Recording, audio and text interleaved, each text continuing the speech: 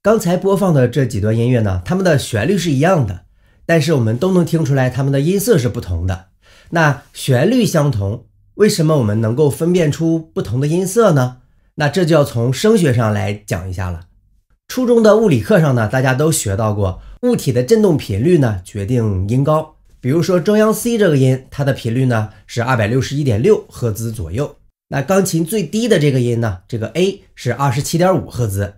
但实际上呢，当一个物体发生的时候，并不是说啊整个物体所有的点都是按照这个频率来振动的。除了这个基本振动频率之外呢，还有很多的部分呢是按照其他的频率在振动的。比如说我在钢琴上弹一个中央 C，那我们乍一听呢，肯定觉得这就是一个 C 的音高啊，但是其实不然啊。如果你用仪器来监测的话呢，你就会发现啊，除了中央 C 这个频率之外，还有其他的频率也在响。那这个例子中呢，C 就是基音，那其他的音呢，我们就管它叫做泛音。基音呢，决定着我们听觉上它的音高，而泛音呢，就决定着啊这个发生物体的音色。那之所以你听不清楚泛音部分的音高啊，是因为泛音比较弱，耳朵呢很难分辨出来。因为泛音呢，它是有很多个的，那这些泛音的数量以及这个呃分布的状态等因素呢，就导致了各种乐器之间音色的不同。比如说，在一个泛音列中啊，较低的一些泛音比较强，就会导致它的音色比较丰满和宽广。比如说啊，圆号。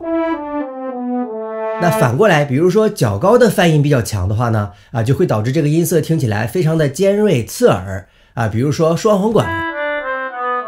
那再比如啊，偶数位的泛音比较强，而奇数位的泛音比较弱呢，它的音色呢就会比较空洞啊。比如说单簧管。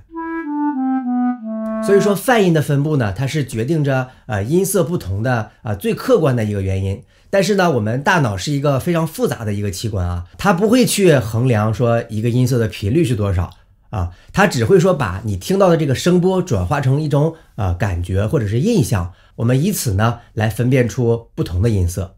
另外呢，呃，我们如果想把不同的音色啊对应到不同的乐器上，主要的方法呢还是靠感觉啊每一个音的音头的部分，也就是声音刚刚发出来的啊那一小段声音。啊，以及呢，啊，音高之间的变化，以这两个为特征依据来判断具体是哪种乐器的。比如说，我们来做一个实验啊，啊，我把几种音色的音头部分剪掉，并且呢，只播放同一个音高。这样的话呢，呃，即使你听出来它们的音色是不同的，但是呢，你也很难辨认出具体是哪个乐器。不信的话呢，大家可以把接下来你听到的这几种音色所对应的乐器发在评论区。看看有几个人能够正确的分辨出来。